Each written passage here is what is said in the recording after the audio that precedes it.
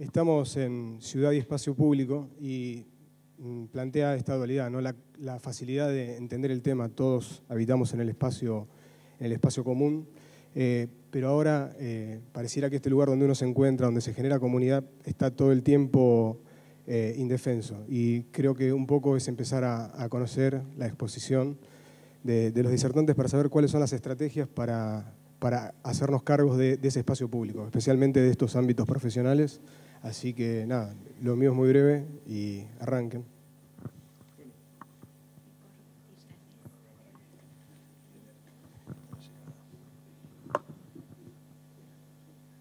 Bueno,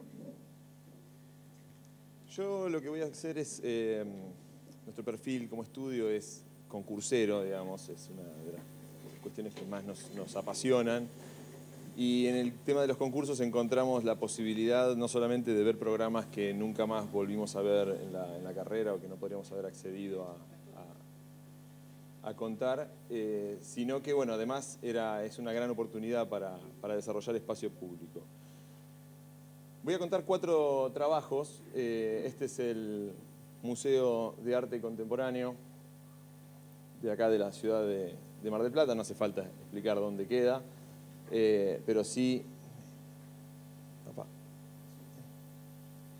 sí es importante entender que fue pensado en, esto que era cerrar de alguna manera la costa, es generar como una especie de, gran franja pública y este espacio público que es la costa, equiparlo. Entonces nosotros teníamos ganas de, generar estas, grandes escenas, la ciudad, el mar, el infinito, en una serie de, cajas que, de alguna manera emulaban las, salas. Eh, empezamos a, jugar con el tema del objeto, el objeto arquitectónico, la, condición de las salas, las alturas, eh, especulaciones volumétricas. Siempre ya empezando a entender el objeto y empezar a probar esto de aperturas que tengan que ver con el mar y una relación directa con, lo que sería la costa. Y resolvimos una configuración de alguna manera de, esas, esas, bocas empezaron a ser patios, las salas, los elementos que están entre medio, generando una volumetría que se abría principalmente al, mar y que armaba toda una plaza en torno. Y se sumaba a la secuencia de espacio público costero esta es una especie de, condición que siempre nos, preocupa, esto de que el cero, la vereda, ingrese y invada todo el edificio sin, limitaciones. Eh, y de alguna manera las, partes duras del programa sean simplemente las que articulan esos espacios. Estaba previsto un crecimiento que entraba en el sistema de la misma manera. Y bueno, un poco a partir de ese gran espacio, con ese, ese vacío circular, se daba toda la secuencia eh, de recorrido alrededor de todas las salas para terminar en todo el recorrido museístico. Tenían unas operaciones de, alabeos y, cortes, las salas para generar luz difusa, luz indirecta, eh, con todo el estudio de lo que significaba. Y bueno, la, relación directa con la plaza de acceso imágenes de las fachadas, la gran boca hacia el mar. Y bueno, esta situación de, espacio público que, proponíamos en el frente en relación con el mar directamente. Y el hall con el enmarcado de la ciudad y del mar, un poco lo que, lo que pretendíamos, y esta fluidez. Y en la secuencia, subiendo y teniendo noción del cero siempre, eh, el remate de las experiencias terminaban. Sí.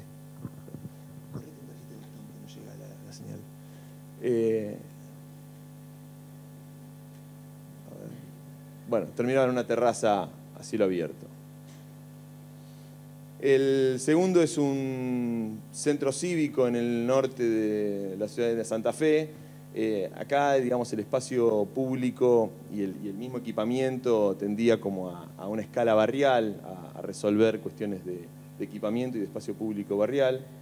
Era un terreno pasante, eh, un terreno en esquina y pasante, nosotros propusimos esta especie de malla, un poco volvemos a recurrir al sistema este de, un espacio central, las cajas, los patios, eh, y bueno, y la rambla que va proponiendo estos espacios de, espejos de agua, skate park, eh, equipar el, espacio público para dotarlo de, eso, ¿no? de lo, que se pretende siempre, que es la apropiación de, la gente del barrio, que lo haga propio bueno, la incorporación siempre de, especies autóctonas, de especies del lugar, de especies reconocidas también por la gente del barrio. Y unas tecnologías sencillas, eh, que en realidad planteaba espacios eh, como este, por ejemplo el Zoom, que era eh, para que la gente del barrio pueda hacer eventos, para que se puedan reunir, cuestiones barriales. Y esta...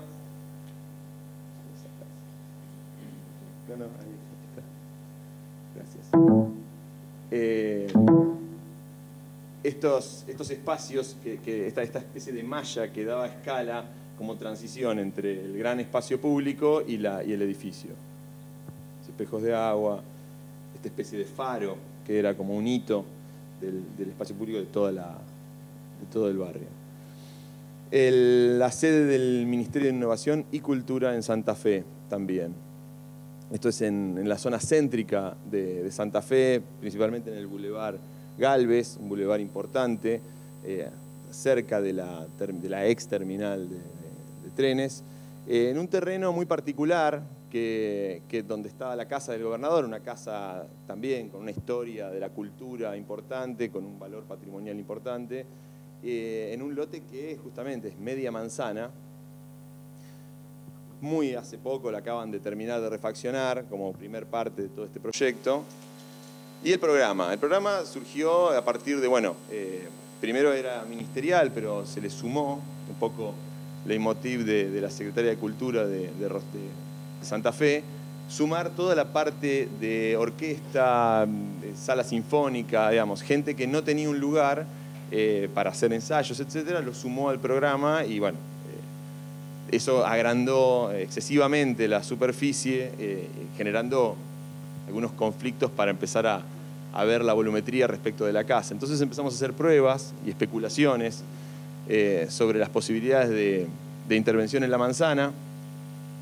Hicimos muchas pruebas, la cercanía con la casa, las proximidades, eh, las medianeras. Empezamos a, trabajar de alguna manera como alejándonos en una manera de objeto, siempre con esta intención nuestra de que la, calle ingrese en el edificio y sea el edificio parte del espacio público. Y bueno, empezamos a, desarrollar este, este, volumen de alguna manera y no nos terminaba de convencer. Terminamos casi como desarrollando esto con una terraza también pública. Pero bueno, eh, en un momento tuvimos la intervención de un asesor patrimonial, Lucas, Mainer, eh, Lucas Di Lorenzi, eh, también arquitecto de la UNLP, que nos hizo darnos cuenta de la importancia de lo que era el patrimonio, la, identidad, la, memoria colectiva y, que tenía desde siempre una axialidad esto de del, espacio libre. Eh, me están boicoteando. bueno, entonces... Eh, genial. bueno, empezamos a tener en cuenta, un poco mirando algunos referentes, este respeto que había que tener cuando uno estaba eh, frente a una, a una joya como era eso, eh, materialidades que permitían esta homogeneidad, esta austeridad, eh, cuando además empezaban a haber volúmenes que tenían funciones distintas que otras. Méndez de Rocha, que para nosotros es un gran referente, esta ingravidez de la caja, la pasante por debajo, los accesos por debajo de la caja. Y bueno, no hace falta presentarlo, pero el gran espacio que, propone Lina Bobardi bajo el MAP, que era algo que a nosotros nos parecía muy interesante, no solo por esta fluidez, sino porque además el semicubierto aportaba al espacio público muchísimas posibilidades de uso. Entonces a partir de, todo esto empezamos a entender que parte de toda esa, especulación empezaba a resolvernos, que era un poco resolver la manzana, cerrar la manzana, hacer un telón de fondo y desprender la caja de la, sala sinfónica.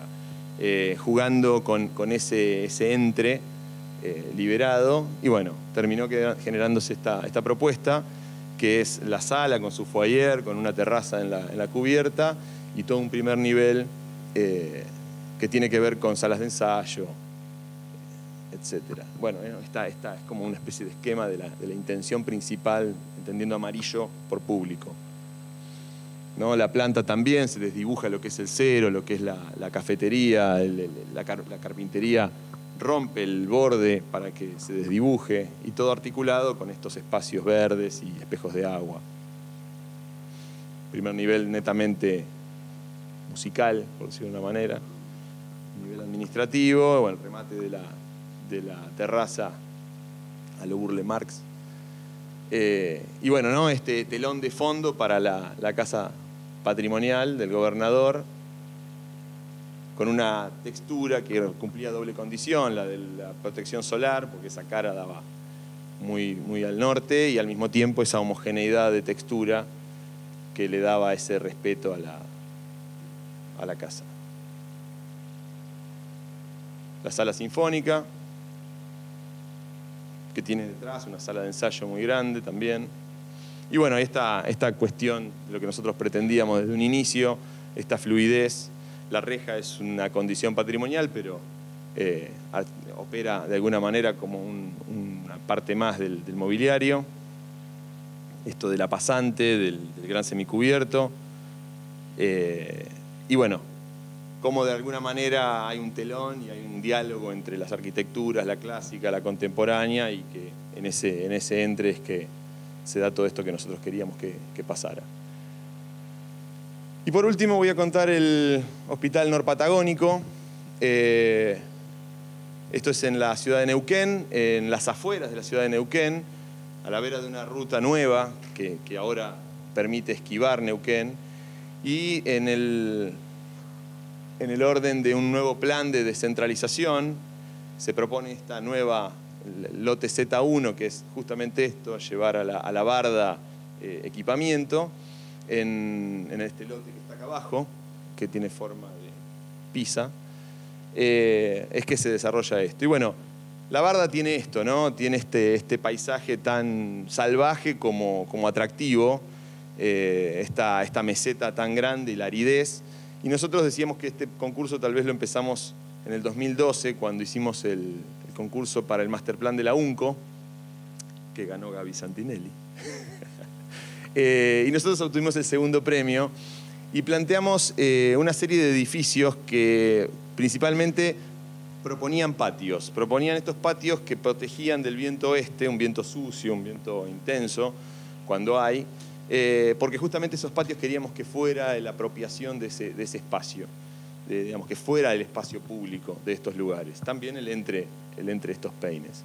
Entonces, bueno, el lote es esto, tiene esas dos cavas eh, y tiene esta aridez, este tipo de, vegetación. Nosotros lo que propusimos fue básicamente una trama, una trama general que, regula todo el edificio, todo, el, lote, eh, con una articulación de vacíos y llenos, eh, intertrabados, que de alguna manera va permitiendo a partir de un módulo, un módulo que va desde lo más público hasta lo más específico, arrancando por el, es el Petrobús en realidad, no es el Metrobús, estacionamiento, hall, situaciones intermedias como pueden ser hospitalizaciones, la central de abastecimientos y servicios, que sería eh, la parte trasera, una calle de abastecimiento y edificios anexos que tienen también su propio espacio eh, de expansión que quedan en el balcón de la barda. Estos edificios anexos eran eh, jardines maternales, eh, centros de investigación, bueno, ¿no? la situación de los patios, esa condición horizontal del módulo y un módulo constructivo con una grilla de 720 por 720. Y eh, la definición de este módulo como una posibilidad también de crecimiento, de crecimiento sobre el territorio y sobre una matriz que ya existe, porque es la misma matriz que regula el gran parque que nosotros proponemos. ¿no? Esta, esta trama. En algunos lugares, eh, algunos de, los espacios son de un solo nivel y generan grandes patios, terraza. ¿no? Esta trama en la, en la barda. Bueno, nosotros decidimos eh, recostarnos sobre las dos avenidas más importantes por la llegada a emergencias y por la llegada del público, dejando todo el parque eh, sobre, digamos, la parte irregular del terreno. Y proponíamos originalmente estos reservorios de agua, que de alguna manera van a terminar siendo un gran reservorio, que es una cava eh, ilegal que tienen en el terreno, pero que, bueno, de alguna manera serviría para sumar humedad al sector las distintas situaciones de todo el, el hospital, los sistemas de, movimientos que son cruciales en estas cuestiones y la trama, ¿no? La planta. Planta alta con esas dos terrazas importantes, movimientos internos que se entrecruzan, las circulaciones van alternándose entre privadas y públicas, la gran recoba del frente, y los estacionamientos y la situación de parasoles hacia el parque, el acceso con la gran logia, una bandeja que lleva a las hospitalizaciones en planta alta y esta alternancia de, patios que se van dando en las circulaciones transversales, las norte-sur, y las situaciones de las terrazas. El gran parque, la cafetería acá adelante, hasta acá el concurso. Eh, ganamos el concurso y como no pasa habitualmente, nos llamaron porque querían hacerlo. Está toda la voluntad, entonces tuvimos la primera reunión con la gente de salud y lo que empezó a pasar es que justamente es esto, ¿no? Cortamos los, pedazos y empezamos a intercalarlos con los requerimientos que ellos nos, nos pedían, que era concentrar las partes más, las partes más eh, específicas, los quirófanos y toda la, parte que tiene además mucha carga de tecnología, partes intermedias y toda la, parte de consultorios. Es decir, que no solamente tenía un gradiente de complejidad en un sentido, sino también en el otro. Y una cuestión que también se sumó son todas las circulaciones, todos los elementos que aparecen en los patios, que son ascensores y escaleras de emergencia, que también al entrar entraron también dentro de un sistema. ¿no? Estas ya son plantas avanzadas. Estas escaleras, la, gran, otra vez, ¿no? la gran lógica con el sistema de protección solar. Y eh, una cuestión que surgió también hacia el este y al oeste, que cuando nosotros fuimos, encontramos el tema, yo lo cuento siempre con una anécdota, pero es un tema no menor, eh, que es el tema de las palomas, que era un gran problema realmente, eh, y más en un hospital, y entonces tuvimos que hacer una adaptación de lo que eran los parasoles, que eran parasoles premoldeados, que generaban una protección a 45 grados, con una especie de micro parasol, y matábamos de alguna manera dos pájaros de un tiro, literalmente, ¿no? que es este, este sistema de mallas que, que permiten controlar la luz y al mismo tiempo el control de aves, ya sea en los patios o en el lado este y oeste. Los patios tienen unas acequias que juntan el agua, hay una cuestión de, que queremos que estos patios se usen, se aprovechen por la gente, es un hospital público. Eh, hay, especies aromáticas por, estas leyes de, cuestiones sensoriales para la gente no vidente. Y bueno, los pasillos que empiezan a tener ya más complejidad y empiezan a, a proponer una experiencia que tiene que ver más hacia el afuera que hacia el adentro y cómo todo esto ayuda a la sanación de alguna manera. El parque, bueno, la propuesta. Bueno, de alguna manera estos eran los eh, cuatro de, nuestros trabajos que de alguna manera el espacio público era el hilo conductor, una cosa que nosotros creemos que es importantes que los concursos nos, permiten esto, nos permiten tener la posibilidad de anticiparnos y proponer espacio público, además de los programas que los concursos requieren. Eh, son, hablando del espacio público y la mirada al futuro, son una gran oportunidad de, anticiparnos a proponer y, mejorar esa, condición. Eso es todo.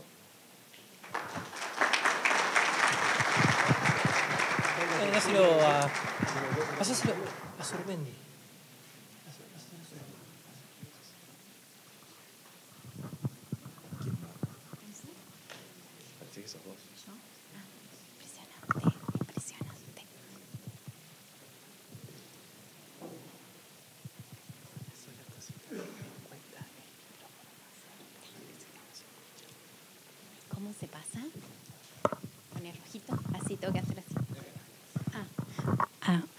hola. Bueno, primero muchas gracias por invitarme. Estoy súper agradecida. Gabriel y Gabriela organizaron para que llegara acá.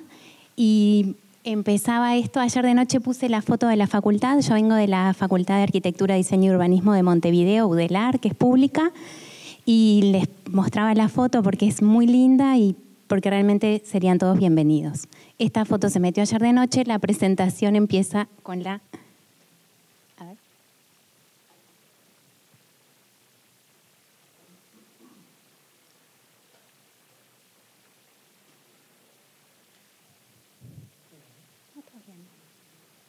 L.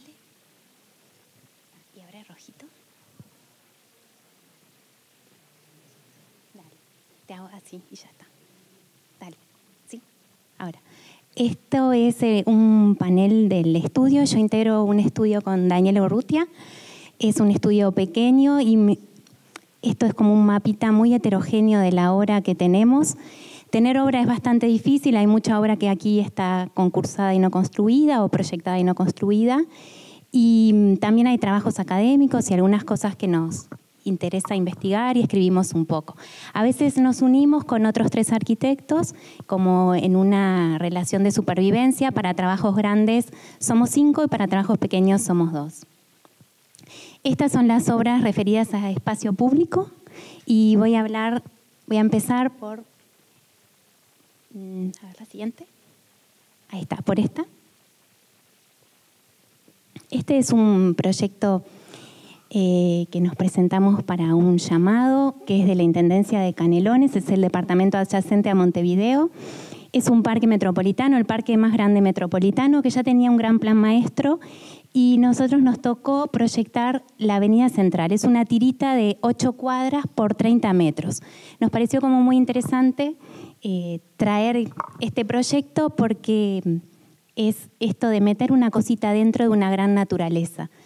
Le hicimos un poco incluso más fina porque nos parecía que ese parque, que es un montón de árboles y un lago artificial producto de una arenera, eh, no estaba bueno toquetearlo mucho. Era mejor dejar la naturaleza como límite entre dos departamentos, pero había un gran problema de vandalismo, entonces no solo tuvimos, no solo quisimos afinar la tirita, que va desde una avenida muy grande, que es Avenida de las Américas, hacia otra que también es muy grande, que es Avenida Carrasco, sino que el material que teníamos que usar tenía que ser primero un recurso económico acotado, pero también no vandalizable, incluso durante la obra, porque durante la obra se iban robando todos los materiales.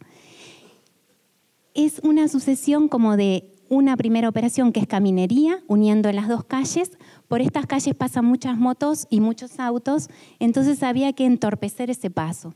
Por lo cual el pasto lo hacíamos crecer de un lado o crecer del otro y trabajamos con una caminería de borde de cordoneta para evitar el crecimiento del parque y del pasto y definir bien dónde va el peatón y dónde va el peatón cuando quiere jugar o, o ir por la duna o treparse a los árboles y una sucesión de pequeñas estaciones. Esta es la parte sur, la entrada que tiene una plataforma con un pabellón de baños. Y luego de ir muchas veces al parque, entendiendo que no precisaba mucho más, pero nos exigían que sí tenía que estar equipado porque iba a ser un elemento de cohesión social, por lo cual atendimos perfectamente eso que era lo que más nos interesaba, tuvo ciertas consultas en la comunidad local que estaba que es periférica, que es muy variada porque hay gente con gran poder adquisitivo y gente que está como por fuera del sistema de trabajo y resultó que ellos querían una poquita intervención y que fuera lo más ambigua posible, que no se sepa exactamente cuál es el lugar de juego y cuál es el lugar del abuelo y cuál es el lugar del fútbol. Entonces, de ir varias veces y caminar por el, bosquecito que es el parque, definimos trabajar solo en los pequeños trillos eh, y empezar a instalar algunas instalaciones. Esto es un esquema de las instalaciones que decía pabellón de baño, superficies Mm, medias ambiguas, un lugar de básquetbol, un lugar de interpretación de árboles nativos para niños pequeños que circulan en un circuito de bicicleta y de buggy. Hay unos toboganes en un lugar que había una lomada, hay, hay unos lugares de estar. Aquella línea horizontal es un pequeño desvío a mirar el lago, hay unos juegos de madera. Llegamos a hacer, por supuesto, todos los detalles a escala 1.20. Y estas son más o menos las escenas que planteamos. Un recorrido y unos tótems con aros a distinta altura. Esta superficie es la superficie que se ondula. Entonces eso hace que no sea una cancha de básquetbol, que no sea juego competitivo, que lo pueda usar un niño pequeño, un niño con discapacidad y un adulto a la vez. No se genera mucha gente corriendo. Lo que sí hay son muchas bicis y muchos buggies que aparecieron por acá en este banco que está sosteniendo un talud con aromáticas, el adulto puede bichar al niño pequeño y las señoras pueden caminar. Estos son bueno, los detalles que no tienen como mucho interés. Este es el ambiente de circulación entre los árboles nativos, que dicho sea de paso, antes de la inauguración ya no había ningún árbol nativo, pero quedó sí todo el circuito permanente. Estos son los estares, importamos de acá las BKF de hormigón. Eh, y resultó muy curioso, las mueven todo el tiempo. Que se ve que es gente que tiene mucha fuerza, las pusimos específicamente, relevamos cada árbol con cada sombra, dónde iban, cómo se miraba la gente, y ahora están por cualquier lugar. Siguiente. Siguiente. Esto es apenas, con los recursos que teníamos, un pequeño espigón que sale al lago. Siguiente. Siguiente. Como hay mucha madera, y es madera de eucaliptus que tiene tronco fino y copa alta, quisimos emular esto en unos juegos que salieron muy económicos, que son simplemente unos, unos palos con unas cuerdas. Siguiente. Un sector de chanchitos de madera. Un sector de toboganes donde estaban las lomadas. Siguiente. Y esto es más o menos lo que, lo que fue dando. Está eh, empecé con este porque es un proyecto del 2015 y recién se inauguró. Ahora va a crecer con un, con una, con un pabellón gastronómico y con un pequeño anfiteatro topográfico, porque por suerte la gente se lo ha apropiado.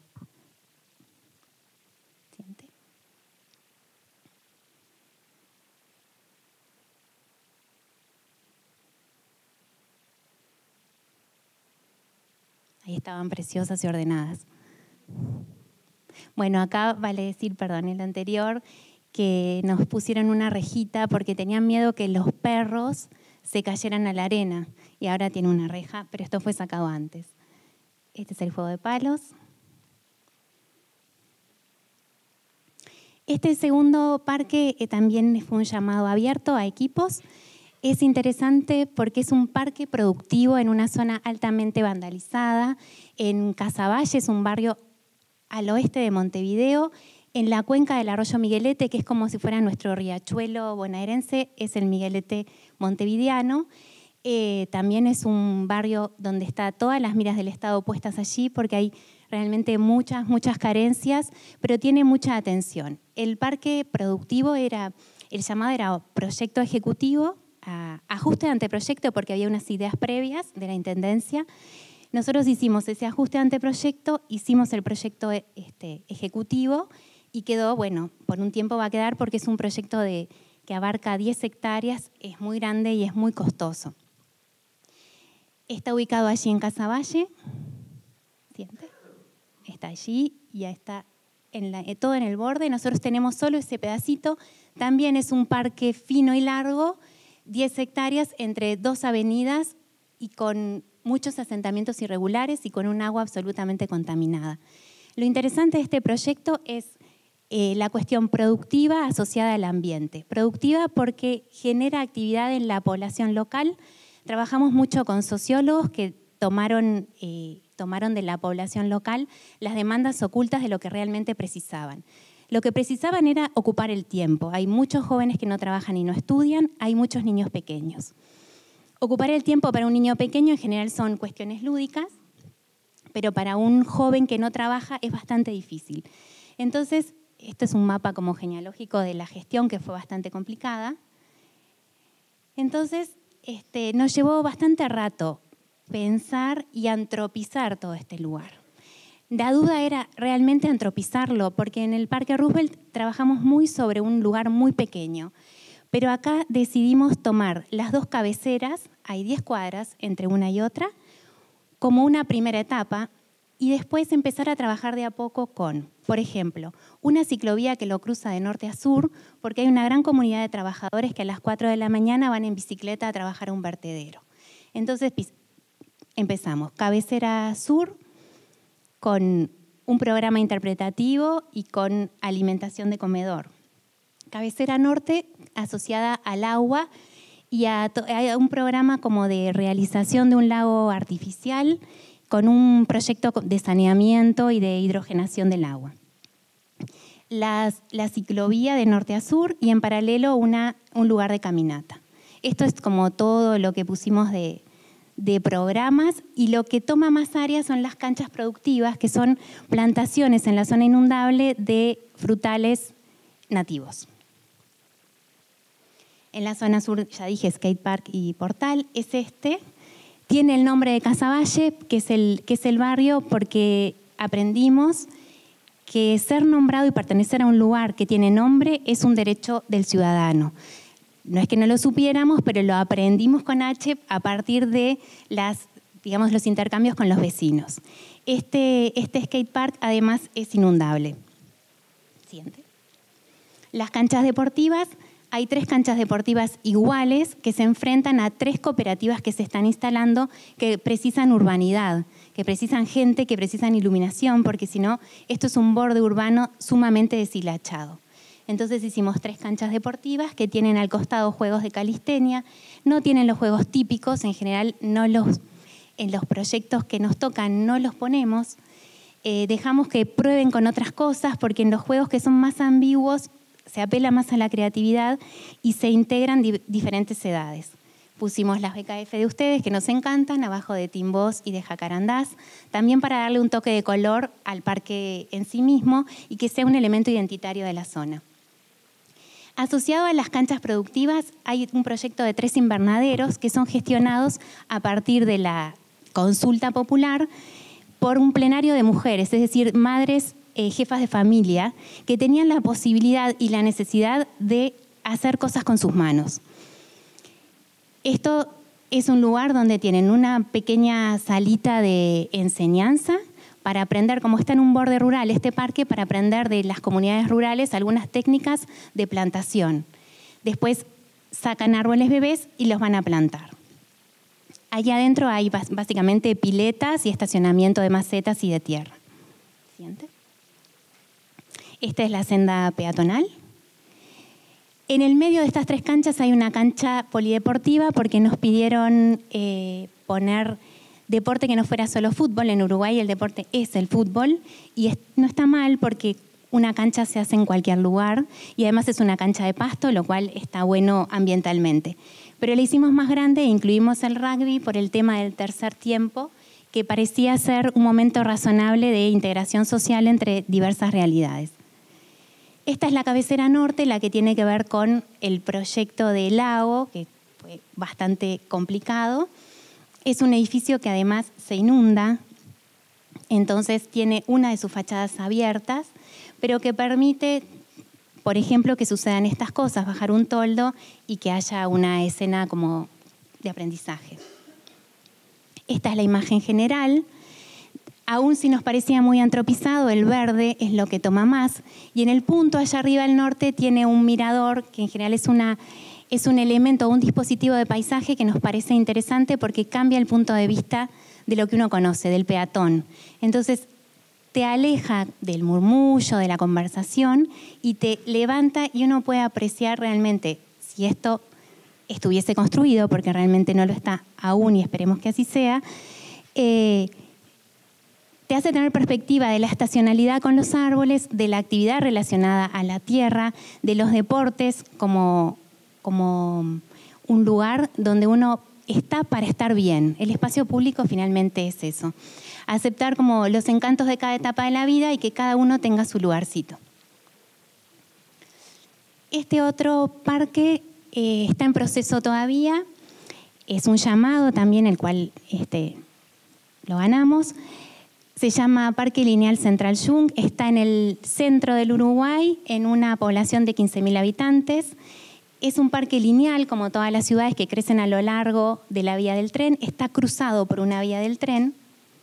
Y lo que nosotros creemos que la demanda dice, que no lo dice, es intensidad e identidad. Esta es la localidad, la vía del tren cruza así, pero esta es la ruta 3 que va de Montevideo al norte. Entonces está totalmente atravesado como por una cruz. El área de actuación es esa bandita amarilla. Toda la vereda sur es una vereda llena de comercios y de bares. Y este es el escenario que nos encontramos. Realmente a primera vista no parecía que se precisara mucho más.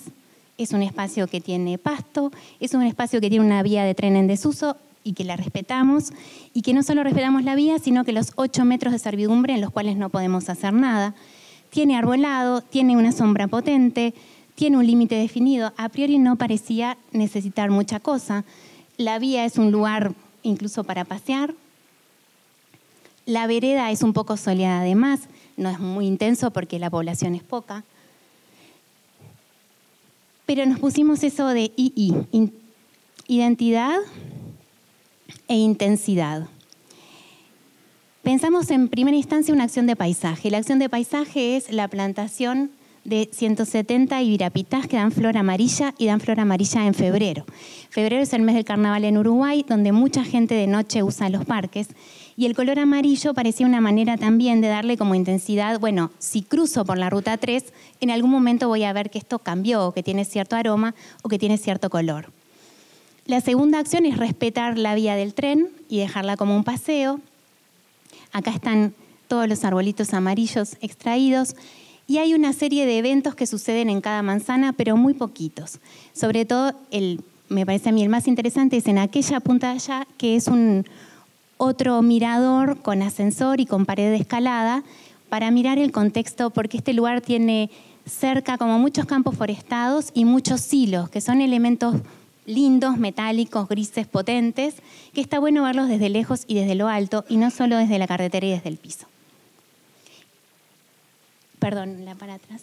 Y la última, es decir, una acción de paisaje con ibirapitas amarillos, un mirador, algunas acciones menores y ensanchar toda la vereda sur, lo mismo que hicimos en el primer proyecto. El pasto avanzaba en el primer proyecto, acá avanza la vereda, los autos van a 45 grados, no avanza con una baldosa de vereda de 64 panes o de 9, que es la típica en Uruguay, sino que avanza con un pavimento más tipo green block, donde el verde y el hormigón se cuelan y donde el agua pasa y hay como otra textura. Siguiente. Estos son algunos de los ejercicios que hicimos como de mirada, nosotros le decimos mirada pendular porque nos gusta mirar desde el horizonte de peatón y desde arriba. Esto sería una visión desde arriba, con las vías de tren siempre muy marcadas, como rasgo histórico. Estos serían como algunas de las escenas de crecimiento de la vereda, con un piso más o menos, con verde y gris, con una bajadita por supuesto accesible, con un árbol amarillo, con un lugar para dejar mesitas para que el triángulo espacio público, vivienda, comercio persista siente. Con algunos lugares para estar del otro lado, siente. Y esto era lo que empezamos a tantear, bueno, qué vegetación podría ir, cuánto ponemos, cómo no nos queda poca cosa, porque también es eso, ¿no? Esto también tiene, tiene interpelación con la comunidad y la comunidad quiere ver cosas agradables, la gente quiere tener cosas con colores, cosas ruidosas y eso es muy sensato también. Y nosotros estamos proponiendo todas como eventos más bien este, paisajísticos y en este caso no productivos, nadie va a ir a plantar aquí, vamos a ir a observar y a pasear. Entonces todavía estamos en esa duda, pero el proyecto ya cerró, ya no hay más tiempo. Siguiente. Siguiente. Este era el al principio estábamos trabajando con lapachos amarillos, pero era muy difícil conseguir en Uruguay. Esas son las primeras ideas del mirador. Este es el cruce de la, de la ruta 3. También tenemos una tirita de agua, este, porque hay algunos problemas de pluviales que también el proyecto lo tiene que resolver. Esta ya es como más la imagen que se acerca a lo definitivo del crecimiento de las veredas, con el color amarillo de las baldosas este, particulares, con la ciclovía amarilla también, con las copas levemente amarillas. Este es el mirador que nos dio como bastante trabajo decidir si era este o aquel o aquel otro. Y finalmente le dejamos en el interior en lo metálico el color amarillo como, como identitario y tiene una, como una gran bancada y en muchos lugares con respaldo para que sea cómodo para todos. Este es el, el concurso del mercado modelo, que es un proyecto urbano que ganamos hace un tiempito. En el centro de Montevideo, en un área muy cercana al Ante la Arena, que fue un, digamos, es nuestro gran edificio de este siglo. Y, siguiente en un contexto que no tiene nada que ver, pero que esta foto es muy linda porque este es el mercado de frutos. Es el mercado donde a las 2, 3 de la mañana se llena de distribuidores de todo el país, de ahí sale el 70% de las frutas y las verduras del Uruguay. Entonces tiene mucho movimiento. Esto se traslada ahora, dentro de un año, para el límite oeste de Montevideo y genera un montón de infraestructuras vacantes. Gran problema porque cualquier primera la primera hora de una infraestructura vacante, por lo menos en Uruguay, supongo que tenemos códigos parecidos, se ocupa. Es muy grande y se va a ocupar y va a ser un problema.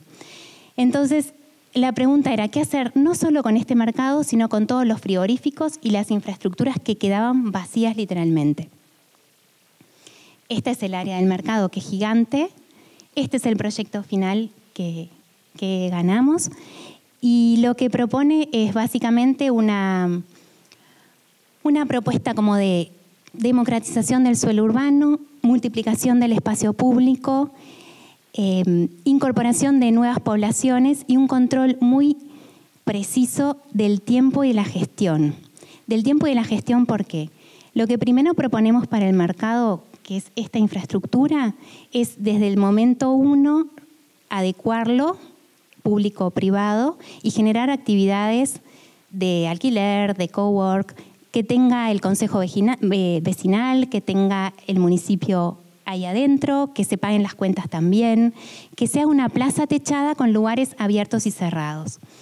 Mientras eso no, se, no está desocupado, proponemos sobre frente de esta calle esta tira como de edificios que tienen en esta cota, en la cota más 8, un zócalo con terrazas pensando en, primero, darle darle fuerza a la calle Propios, que es una calle muy importante en Montevideo, y a su vez bajando la escala hacia el vecindario. Todos estos padrones de atrás están fusionados de acuerdo a su tamaño y son para integración de cooperativas de vivienda, por lo cual tienen una resolución formal diferente, se van integrando a las infraestructuras existentes y van incorporando población que ya tiene una digamos, una gestión de comunidad propia. Las cooperativas, una vez que se instalan, tuvieron cuatro años de trabajo previo. Por lo cual, cuando esto se prueba, desde el día cero hasta el día cuatro, que alguna de las cooperativas esté instalada o que alguna de las torres ya está instalada con población nueva, acá ya tenemos una población que ya funciona autónomamente y que puede empezar como a disfrutar y a compartir del espacio y a cuidarlo. Después hay una serie de, bueno, hay un puente que une algunas infraestructuras que son educativas, que las dejamos específicamente para atraer población eh, ruidosa, estudiantes, jóvenes y niños, que nos parece que está bueno tenerlo cerca. Y aquí en este otro lugar, que era un padrón que está bastante deteriorado, planteamos una, como una especie de, de malla habitable hotelera porque hay dos sanatorios muy importantes cerca. Esto es más o menos la zonificación que les acabo de contar. Hicimos como bastantes estudios de qué área nos estaba llevando cada cosa, porque el espacio verde es un área cara, porque es de inversión pública y de retorno, digamos, de retorno social y no económico, entonces no podíamos excedernos en lo que era el espacio público tradicional. Tenemos área de vivienda con accesos diferentes por concurso, privados, cooperativas, etc. Tenemos servicios complementarios educativos y una resolución de vías circulatorias, obviamente. Esto es parte como del trabajo. Estas eran las ideas preliminares de los que nos imaginábamos que era esa plaza techada. Eh, creo que, no me acuerdo quién habló hoy, tú hablaste como de la planta baja, eh, invadiendo todo. Nosotros presentamos como planta, no una planta de techo, sino una planta baja de todo, entendiendo que el espacio es público y es por momentos semipúblico o privado solamente, por ejemplo, para subir a, los edificios de la calle propios. Esto es lo que presentamos con el puente pasando, con las actividades lúdicas, como una plataforma bastante efímera, pero de prueba. Esta es la cota más 8, que nos interesaba que el sistema de cuidados que está funcionando en Uruguay tuviera su lugar, que los abuelos pudieran bajar tranquilamente. No, tiene la calidad del espacio público tan amplio, donde hay mucho viento de repente o donde se sienten más inseguros. Acá puede haber como los vértices de la vida pueden estar juntos aquí. Después algunas imágenes sugerentes de lo que nos imaginamos de las cooperativas y de la escala barrial. Estas eran imágenes pequeñas, ¿no? Ahora las agrandé y yo decía, bueno, no se va a ver tan, tan lindo, pero sepan disculpar. Este es el puente que une la Universidad Tecnológica con, con, el, con el mercado modelo, que además abajo tiene un área de estacionamiento pago que lo hace rentable. Este es un parque lineal y tenemos el, zócalo allá. Este era un edificio existente. El, el zócalo con actividades más de estudio y comercial. Y lo último que les voy a presentar es algo que en realidad es una asesoría que estoy haciendo, en realidad es para Presidencia de la República, que tiene que ver con el seguimiento, el apoyo en el diseño de espacios públicos participativos de comunidades pequeñas que están fuera de Montevideo.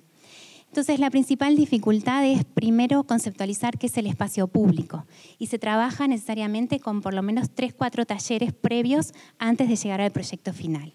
El formato de lo que ven ahora es básicamente eh, muchas ideas, muchas ideas, muchas ideas que de a poquito, poniéndolas en su lugar y en código, se van apropiando por los vecinos de lo que realmente cuando dicen quiero una piscina, de repente se puede solucionar, porque los recursos son escasos y son estatales, se puede solucionar con, bueno, me mojo los pies, o bueno, hay un chorrito, o bueno, hay una ducha. Entonces esto lleva como un tiempito de, yo digo como de, enseñanza tal vez, desde lo técnico hacia la población y desde la población que reside, que es la que sabe realmente lo que quiere, hacia el técnico. También les hablamos que en un espacio que no está programado también es un espacio muy disfrutable porque podemos hacer lo que queremos, aunque el espacio público es el espacio que más normado está. Pero podemos festejar un cumpleaños, podemos dormir una siesta, etc. Y un espacio hiperprogramado lo que hace es ordenar las actividades y uno tiene un menú más claro de cómo elegir. Sobre esto estamos como un rato discutiendo. El entorno en los que, en los que voy son este tipo. Algunos pueblos donde la calle es el espacio de raíz y tiene como mucha identidad y mucha fuerza, donde la feria tiene mucho valor, por suerte. Pero también son espacios nuevos para nosotros. Tenemos, eh, digamos, la primera oleada de inmigrantes desde la Segunda Guerra Mundial hasta ahora, hay un gran componente de población india que está llenando con nuevos deportes los espacios públicos, lo cual es maravilloso y está bueno. También llevamos estudiantes de facultad y hacemos como tareas este, con los vecinos. Ahí estamos llenando unos equipamientos de hormigón que son como, unos, como unas solitas, unos bollitos. Nadie sabe mucho para qué sirven, pero ya están colocados y abordados. Les llevamos a veces maquetas, hacemos en facultad algunos proyectos alternativos a los proyectos que tienen y los mostramos y quedan ahí. Y también usamos a veces esto, que un banco, que es un simple dispositivo, es un banco para echarse a dormir por un joven, para un, un papá y su hijo aparentemente, dos señores más grandes, una pareja que puede ser de cualquier tipo, dos amigos de noche, un skater que también lo va a usar, y todas estas poblaciones y muchas más que no mostramos tienen que estar allí incluidas. También, esto sí, bien rapidito, les mostramos cómo poder discernir todos los programas que el espacio público tiene, cómo poder entender si el espacio público está como ese verdecito en el medio de una trama, con una fachada dibujada, tiene determinadas características, tiene determinada iluminación, los vecinos ven, pero hay otros espacios públicos que son más débiles y que están en el borde y que eso también tiene un valor, pero que requiere otros cuidados. Mm, también hablamos de esto, de repente no es tan bello, pero nos resulta lindo intercambiar. Esta es una, escultura que está en Mendoza, en el, en el Parque del Río, y les mostramos que hay muchas esculturas. Esta es, la escultura típica que esperamos ver. Esta del medio es la escultura que han hecho unos jóvenes cuando un amigo se murió y la instalaron en un espacio público, malabarista. Y esta otra es la escultura que se nos viene porque es una escultura sensible con el ambiente. Todas estas tienen que ver con la identidad y la valoración momentánea que tenemos de los objetos que instalan y que vemos en el espacio público. Estos tres pueden convivir perfectamente, simplemente tienen diferentes lecturas, diferentes apropiaciones. También tratamos de mostrarles que el paisaje existe, lo que vemos es tal cual, pero el paisaje es una zona de conflicto y hubo otro paisaje antes que estuviéramos. Por eso antropizar mucho nos cuesta un poco y nos gusta que queden los recuerdos de lo que fue el paisaje anterior, incluso del que no vivimos, las batallas que sucedieron o qué, cosas ocurrieron, cómo era la topografía, qué tipo de árbol había. Algo que es muy importante es explicarles el tiempo del proyecto. Todos los proyectos llevan mucho tiempo hacerlos, mucho tiempo pensarlos. Y desde la idea a la inauguración, que es lo que la comunidad quiere inaugurar ya, es un 0 a 2,5, pero el espacio va a durar 100 años. Entonces, cuanto más responsable y de mejor calidad y más ambiguo sea, es mejor. Entonces, trabajamos con la idea de la mirada corta y de la mirada larga. Intentamos que esto sea un sistema de espacios públicos, que no repliquemos en comunidades pequeñas ni en grandes los mismos espacios públicos como si fuesen recetas ni los mismos equipamientos. Siguiente. Y da algo de este tipo, que de repente por ahora no resulta tan bello, lo estamos experimentando, pero acá hay una botella que recoge los residuos y hay una comunidad que tiene unos profesores que están enseñando básquetbol a niñas. Entonces, esto también es como un buen resultado. Y esta foto a mí me gusta mucho porque Uruguay ha pasado por una, por una etapa de espacios hipersaludables. Tenemos estaciones saludables por todos lados y realmente no todos las usan y no todos las usan correctamente. Pero a mí me gusta ver estos dos niños que seguramente la estén usando mal, con sus padres que están interesados como en conversar, tomando mate, que están compartiendo un espacio. Y esto me parece que es la escala de la que estamos hablando a lo que hay que incorporarle, una nueva valoración y una nueva estética con ética del espacio público, entendiendo que la población que somos es pequeña, es de baja tensión, pero que el diseño y la forma son muy importantes para calificar el espacio público.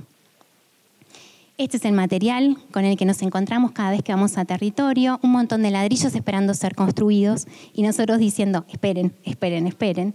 Y a mí me gusta terminar con una frase que es de Jane Jacobs que dice algo así como, que una ciudad es linda cuando uno desde la ventana ve que hay alegría. Y me parece que el murmullo y la conversación del espacio público y pasarse un rato en un, tirarse al sol un ratito en una plaza hace que cada día sea un día feliz. Y me parece que con eso ya tenemos un buen objetivo. Muchas gracias.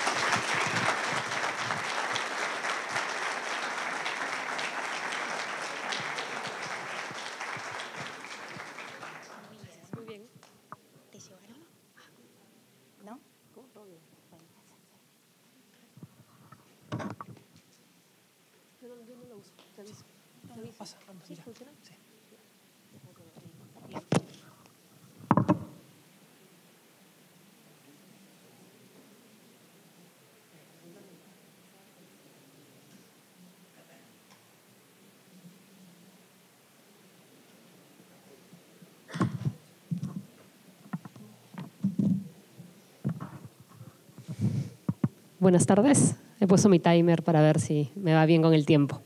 Bueno, en primer lugar, agradecerles por la invitación. Es un placer estar aquí, a pesar de varias turbulencias para intentar llegar, pero Gabriela, gracias por todo.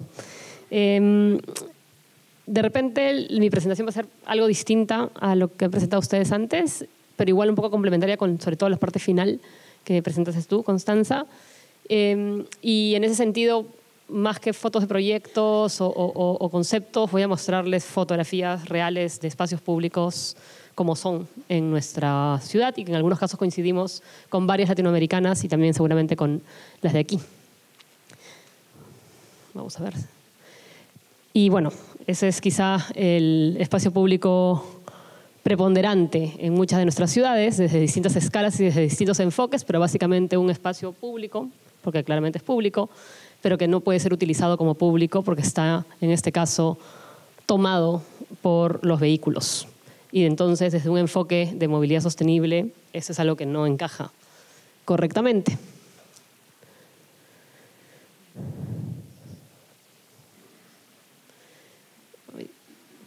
Y justamente lo que no encaja en ese espacio que les he mostrado es cualquier otra persona que no sea el conductor del vehículo como prioritario, pero sobre todo que no sea eh, y que tenga características distintas. ¿no? Los niños es un ejemplo, o las mujeres cuando caminan de noche, que nos da miedo, nos asusta de manera mayor a, la que, a las sensaciones o sentimientos que pueden tener los hombres.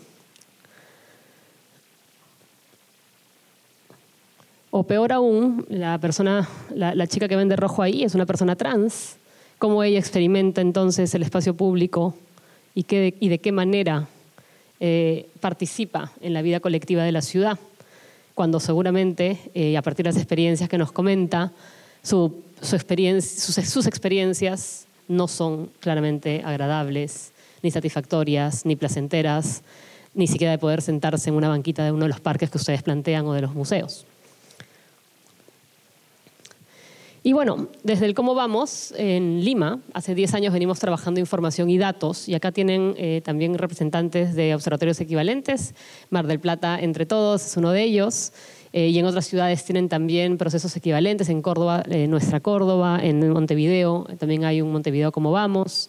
Y básicamente se trabaja a partir de datos e información para mirar calidad de vida urbana, que va más allá de la forma, va más allá de la arquitectura, busca entrar no solamente a la ciudad y al urbanismo, sino sobre todo a los componentes que afectan nuestra vida cotidiana, como pueden ser las políticas educativas, las de salud, el empleo y obviamente el transporte público, la vivienda y los espacios públicos, que es lo que nos convoca en esta charla el día de hoy. Em, y es en ese sentido que un poco la propuesta del modelo es buscar ciudades que sean inclusivas, que sean justas, que nos den oportunidades y que sean eh, que nos ofrezcan una buena calidad de vida para todos y todas, sin importar qué edad tengamos, qué es lo que hagamos y qué queramos ser o qué queramos hacer. Es exactamente igual de válida la necesidad de un estudiante de aquí de la universidad de trasladarse para venir a estudiar que la de, de repente, mi madre que quiere ir a hacer otras cosas. Y ahí es donde yo empiezo a preguntar cuál es el rol entonces del arquitecto, del diseñador o del urbanista o del funcionario de obras públicas que se dedican a construir estas cosas. Como pueden ver aquí, ¿se nota? Alguien ha gastado tiempo y dinero en colocar unas púas para evitar que la gente se siente. O, como, como suele ser raro, una autoridad que reacciona rápidamente a las demandas de los vecinos que están molestos porque las banquitas del parque son usadas de la manera incorrecta. Incorrecta entre comillas. Vaya a ver usted qué cosa es lo que la persona considera correcto. O también cuando encontramos espacios públicos que básicamente buscan ser tomados como elementos de transacción porque son claramente más baratos y es más caro comprarle un predio privado a algún propietario que concesionarlo o alquilarlo al Estado por muy poco dinero. Em, y esa es la declaración que da un alcalde. Vamos a vender el parque porque no es rentable. O cuando las personas utilizan y ocupan espacios a pesar de justamente las regulaciones y las reglas que mencionabas, Constanza, por parte de, nuevamente, alguien que decide qué es lo que sí debe hacerse o qué es lo que no debe hacerse en determinado lugar.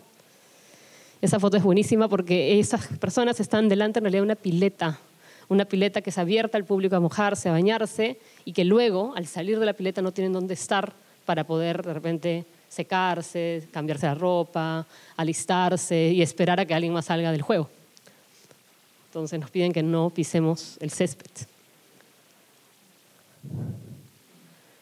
O, por ejemplo, ese es un caso interesante que también se dio en la ciudad de Lima, en Chorrillos, donde un día de muchísimo calor, en uno de los veranos más calurosos que tuvimos hace unos cuatro años, unos tres años, en el marco, en una previa al fenómeno del niño, la gente entró a esta pileta y la reacción de las autoridades y del escándalo pues, en redes sociales, porque todos son unos malos ciudadanos por hacer eso, fue la de poner guardias de seguridad resguardando la pileta y un letrero. Varios, ¿no? Para que, sea, que quede claro que no hay que entrar en la pileta. Nadie debate si es que necesitamos ciudades húmedas, si es que necesitamos espacios de refrescarnos, nadie debate si es que la forma en la que la ciudad nos plantea una solución es realmente la que necesitamos. Uy, Dios.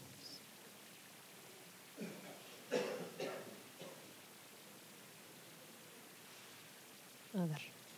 Y un poco es ahí que nace, bajo esas ideas, o esas reflexiones, es que nace el proyecto que les voy a venir a contar ahora, que es, un proyecto que se llama Ocupa tu calle, donde lo que buscábamos hacer era transformar los letreros de prohibido pisar el césped, que hay por todos lados, por otros letreros como por ejemplo este de permitido sentarse, que invitar a la gente a entender que el espacio público es suyo y que puede hacer de ese espacio público lo que quiera, en tanto obviamente respeta a los demás.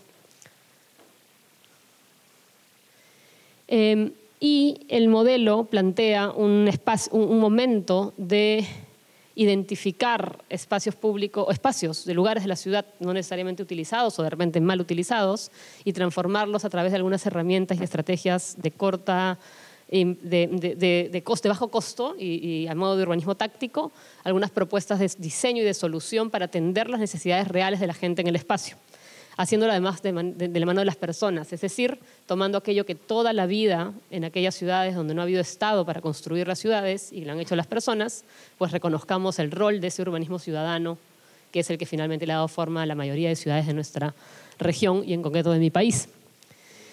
Y, con eso en mente, lo que queremos con el proyecto es generar incidencia en políticas públicas para que las autoridades, cualesquiera que éstas sean, incorporen dentro de su lógica de desarrollo de obras públicas eh, elementos asociados a la participación ciudadana, a las mediciones y a, y a, generar pruebas y prototipos para justamente testear qué cosa va a pasar realmente con el espacio cuando éste sea utilizado y de esa manera poder hacer una inversión más inteligente. Pero también tenemos interés en que esto se incorpore en prácticas privadas, sean estudios de arquitectura, aquí la mayoría son arquitectos, eh, o eh, centros comerciales, o supermercados, o bancos, o simplemente ciudadanos que aceptan que no es necesario poner una reja al parque del frente de su casa para poder compartirlo o para no compartirlo. Este es un espacio que se hizo temporalmente dentro de una facultad en la universidad, una universidad privada, ante la ausencia de un espacio común para los alumnos mientras se construía la nueva facultad y el nuevo edificio, que cuando fue acabado de construir generó una zona común, casi sin espacio para sentarse, y tuvimos que volver a intervenir el espacio, con por supuesto remanentes de dinero, porque ya se habían gastado los millones en la obra, eh, para que hayan lugares donde pudiesen estar. Uno de los arquitectos fue jurado para seleccionar el proyecto ganador, porque hicimos un concurso. Eh, y, a mí, y aquí la pregunta sería, ¿no, sería, ¿no hubiera sido más inteligente invertir en esa obra de manera previa, teniendo en cuenta esas necesidades y esa necesidad de espacio público? Y que ojalá no nos necesiten después. Pero bueno, nuestro proceso es bastante eh, simple. Eh, básicamente identificamos la oportunidad de generar un espacio público, identificando alianzas, eh, se hace un análisis estratégico del lugar, recogiendo indicadores, generando líneas de base, recogiendo toda la información que podamos requerir para poder plantear una propuesta más sólida.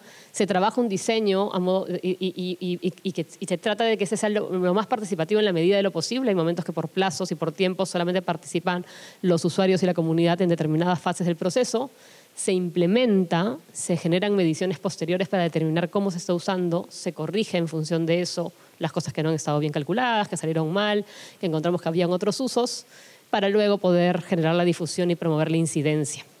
De esa manera se logra que la autoridad o la empresa o la universidad o la organización o la junta vecinal reconozca los atributos y los valores de lo que están buscando hacer para poder incorporarlos luego en su práctica cotidiana, sea, sea, es, ya sea esa la inversión en una obra pública o el tipo de uso que le da al espacio en tanto puede ser gestionado por vecinos. Y en ese proceso eh, hemos hecho ya 40 intervenciones urbanas con distintas escalas y temporalidades, algunas duran más tiempo, otras menos, con distintas tipologías de, espacio, algunas pensadas en completar calles o recuperar espacios en desuso o simplemente crear lugares ahí, ahí donde no habían, con objetivos muy distintos, desde trabajar espacios seguros para niñas y adolescentes, promover caminos seguros a la escuela para niños y niñas, o este, eh, resolver problemas de tránsito o incluso de identidad. Y hemos trabajado un manual que lo tienen online para poder descargarlo con ONU Habitat y con Avina. Según lo que nos han dicho los de ONU Habitat, es el primer manual escrito en español y no traducido del inglés o de otro idioma para hablar de, en América Latina de estos procesos. Y un poco el modelo lo que busca es, en este caso nosotros como, como, como somos como articuladores del proceso, ¿no? Entonces traemos a la universidad, a las eh, organizaciones interesadas, a los vecinos, a la problemática, a la autoridad, y nos sentamos a ver quién, qué tiene quién, de qué manera eso suma. Muchas veces los procesos se insertan dentro de las clases universitarias o de los institutos, a veces no ocurre así, ocurre más bien de la mano de, de, de vecinos o autoridades, y se van diseñando y desarrollando procesos que permitan efectivamente implementar todos y cada uno de los procesos que hacemos. Un poco la idea para los alumnos de arquitectura o de diseño que se involucran es que pasan un poco de la maqueta y de la idea realmente a la acción para ver también qué otras cosas ocurren y de pronto el cliente, entre comillas, le cambia la idea dos días antes de implementar. Y eso nos ha pasado y pasa. O deciden implementar por su cuenta sin tomar en cuenta los resultados del estudio. También va a pasarles. Entonces está bueno que aprendan eso desde ahora para que sus niveles de frustración posteriormente sean mejores. Hay una serie, de, una serie de líneas de trabajo que hacemos en el proyecto, desde intervenciones, talleres, conocimiento, eh, procesos de multiplicación, acompañamiento y una serie de proyectos complementarios que van surgiendo en función de, de las estrategias y las tipologías de espacio. Entonces ahora estamos construyendo metodologías de la mano siempre de aliados para hacer Ocupas tu Cole, ¿no? en colegios y en escuelas con el Ministerio de Educación, eh, ocupas ocupa tu mercado para trabajar con mercados y ferias en, las distintas ciudades del país. Eh, ocupa, este, estamos trabajando Ocupa tu terraza para trabajar también terrazas en bordes en, comercios y así Ocupa tu ciclovía para conectar y complementar espacios que también hemos hecho, siempre de la mano de especialistas ad hoc que permitan meterle más contenido al proceso y no solamente la parte espacial. Y bueno, aquí hay un ejemplo concreto. ¿Se acuerdan de esa foto de la portada del periódico donde el alcalde decía que el parque no era rentable? Pues era este. ¿no? Un parque que en una parte es parque, en otra parte no. Entonces, parte de la estrategia municipal era dejar de regarlo para que se deteriore. En tanto se deteriora, deja de ser usado o es usado o es mal usado y por lo tanto es más fácil argumentar que podemos prescindir del parque como espacio público. Y en este caso, los vecinos que se organizaron y que nos convocaron a nosotros fue básicamente para encontrar mecanismos para activar el parque y evitar que este muera en justamente esa desatención y de esa manera promover el, uso y la articulación. El espacio es muy simple, estoy segura que no ganaría ningún premio de arquitectura de los que han presentado hoy por la mañana, pero básicamente permitió que la comunidad se organice y se estructure, pudieron alcanzar y llegaron a hablar con congresistas y políticos y salieron a defender su parque, que efectivamente luego dejó de ser materia de disputa comercial y se volvió y se consolidó como espacio público. Entonces, la idea de utilizar ese tipo de estrategias para defender espacios públicos quedó demostrada con ese y con otros de los procesos que hemos seguido.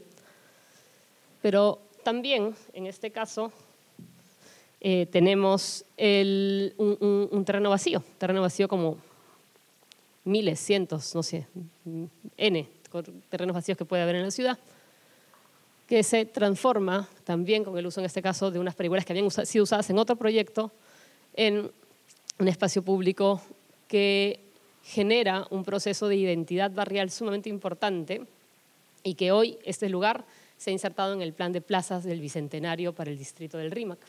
Con lo cual pasamos de un espacio vacío a un espacio usado, apropiado, entonces alguien, alguien, lo puso en TripAdvisor, no fuimos nosotros, entonces es más fácil encontrar plazoleta de la integración, o aparece en Uber o en, las, en Waze y en esos espacios, y luego ya es entendido como potencial por parte de la autoridad y invierten o, y van a invertir dentro del plan bicentenario en transformarlo en una plaza. Ojalá que la plaza pues también recoja los intereses de la comunidad y no solamente coloquen una plaza seca eh, con una virgen al medio como suele ocurrir. Eh, y ahí está, por ejemplo, un proceso de activación. Aquí además el municipio se, puso, se organizó por su cuenta con un grupo de libreros que ocuparon parte del lugar y le dan vida y lo promueven. Es un espacio que ha durado demasiado tiempo para nuestro gusto, tiene, porque el material finalmente no es un material definitivo, pero que esa, esa, vida alargada que le han ido dando los usuarios ha hecho que luego pues, se pueda incluir dentro del plan bicentenario. Entonces ahí la idea es generar justamente identidad o esta calle, en uno de los distritos más ricos de la ciudad, pero en una de las zonas menos ricas del distrito, que no se entiende, ¿no? Por dónde va la gente, por dónde van los carros. Y aquí es donde se presentó y se hizo un análisis de los recorridos de los niños y niñas que iban a las tres escuelas públicas de la zona para ver cómo usaban y cómo cruzaban. La data nos mostraba cómo había gente que, por supuesto, caminaba de aquí a aquí, porque es el recorrido relativamente más directo, pero que lo hacían en condiciones de vulnerabilidad. Y en este caso se recuperaron los remanentes viales, todos esos espacios que encuentran en estos bordes, donde no se sabía si era pista o vereda, pero que por las cuales había que estar para cruzar, y se propuso una transformación a modo de un crucero circular, que no está en la regulación, o al menos no está así, pero bueno, a nosotros a veces no nos gusta cumplir las normas. Y la idea en ese sentido era justamente transformar a partir de una prueba, un prototipo, un modelo, un diseño que con muy poco costo y con muy poco, muy poco tiempo también de implementación pueda, por lo tanto, determinar si es que funciona o no y qué cosas hay que corregir antes de hacer la obra completa. O este último, que es uno de los que hemos hecho hasta hace, lo hicimos en enero de este año, en diciembre, mentira, del año pasado, eh, que es, es, uno de los barrios más duros de, Lima, eh, y había esta escuela. Y en esta escuela, en esta pared, están las ventanas tapiadas porque se quema basura. Esto negro de aquí es basura. O sea, no, es basura, es ex basura, ¿no? Y el humo entra y es terrible. Y era tan evidente el proceso que el colegio era conocido como colegio basurita. Y alguna gente creo que ha recibido esto. Ay, perdón. Que es el, poco el material que tenemos y aquí lo que encuentran es, a partir de la transformación, en este caso con pintura, que era lo que más hicimos, porque si se dan cuenta, perdón, con esto, esto no fue tocado, de hecho no había ni plata para el presupuesto ni tiempo, pero se logró reducir al 0% la tirada de basura en la zona. Se colocó, por supuesto, un espacio, un contenedor para que la basura pueda ir a destino, porque igual la basura se genera, no es que desaparece, pero no es que fuese este, este, en, esta escuela se trabajaron tres áreas. El área exterior del, predio de la escuela, el área del acceso, aquí no se nota tanto porque esta parte no se tocó, pero la parte de la pista hay estos mototaxis y en la foto anterior creo que sí se alcanzan a ver. Todos estos autos iban a mucha velocidad, entonces por acá se armó una pequeña glorieta mínima, mínima, mínima. Y dentro de la escuela, que si no, no la tengo en la foto, se trabajó el patio de, eh, de la escuela misma. Eh, y se lograron bajar los indicadores al 0% de tirar basura, se redujo un 13% la velocidad, no fue tan exitoso como hubiésemos querido, y se transformó el tipo de uso del patio y de, en este caso, uno de los objetivos que era lograr que hayan hábitos de limpieza de manos más saludables para los chicos, aumentara también un 64%. Em, lo más importante en realidad no fue el uso de la pintura, sino que el proceso generó el fortalecimiento de la junta vecinal perdón, de la, Asociación de Padres y Madres de Familia de la escuela, que logró y que se organizó para contratar a una persona por algunos días las primeras dos semanas hasta que se estableció el hábito de no tirar basura en el parque. Y además, el parque, la escuela perdón, dejó de llamarse Escuela Basurita y más niños se matricularon con motivo de la transformación, según lo que nos contaba su directora. Entonces, esto permite activar ese proceso de mejora independientemente del espacio. Se ha hecho una segunda medición en julio de este año, y los indicadores se mantenían en la basura, seguían 0%, los indicadores de uso del espacio público interior o del espacio común habían disminuido un poco y el tema de la velocidad se mantenía igual. Eh, pero es interesante porque, claro, es una inversión relativamente menor que acaba teniendo un impacto importante. Entonces, todo ese proceso, que es lo que les estaba contando un poco que está en el manual en una versión más general, eh, pasa por todo un trabajo asociado a fundamentos, a proceso, medición y análisis, que para nosotros es importante. Gracias, celular. Y aprendizaje. Pero bueno, justo ya estoy terminando.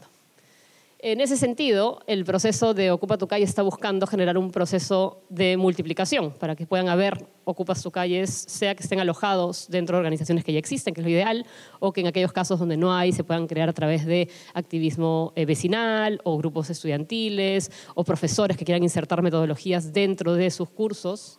Em, y para eso estamos trabajando en una serie de capacitaciones y, y procesos para empaquetar toda la metodología y que se las puedan llevar e implementarla.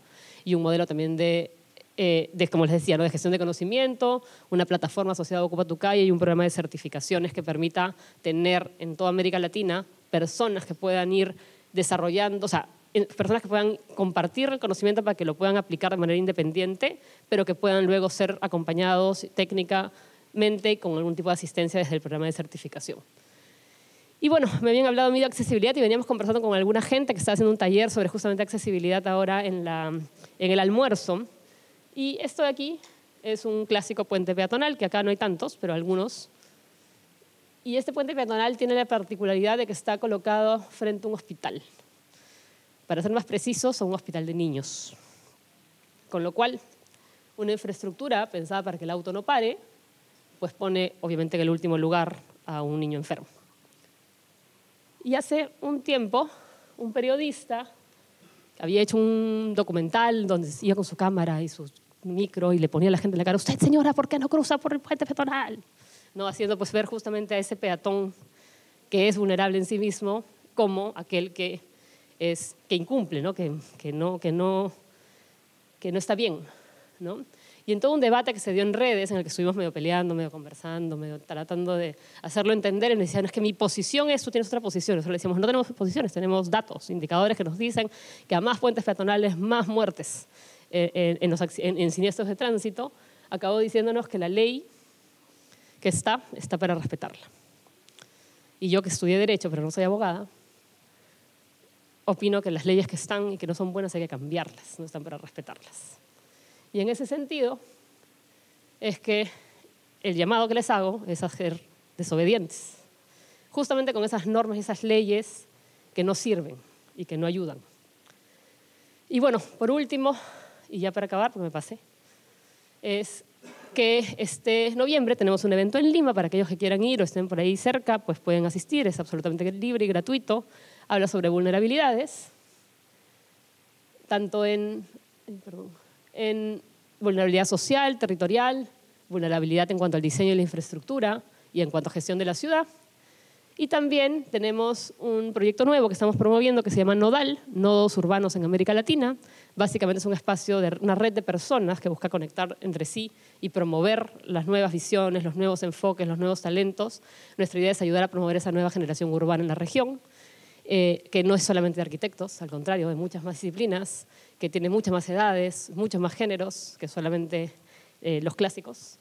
Y la idea es justamente generar alguna transformación. Entonces aquí hay algunas pequeñas imágenes de actividades que vamos haciendo en distintos espacios. Así que nada, tienen ahí nuestras redes para poder seguirnos. Gracias.